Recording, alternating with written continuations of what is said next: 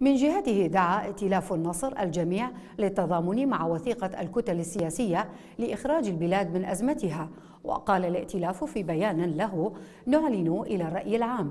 إن إمضاءه وتوقيعه على وثيقة الكتل السياسية التي عقد مساء الاثنين جاء مشروطا بتشكيل حكومة جديدة تقوم بتطبيق هذه الالتزامات وإجراء انتخابات مبكرة بعد تعديل قانون الانتخابات وإصلاح مفوضية الانتخابات وبمشاركة الفعاليات الشعبية وكذلك إدانة واضحة لقتل وجرح المتظاهرين السلميين واختطافهم ودعا الجميع إلى التضامن لإخراج البلاد من أزمتها نزولا عند مصالح الشعب وسلامة الدولة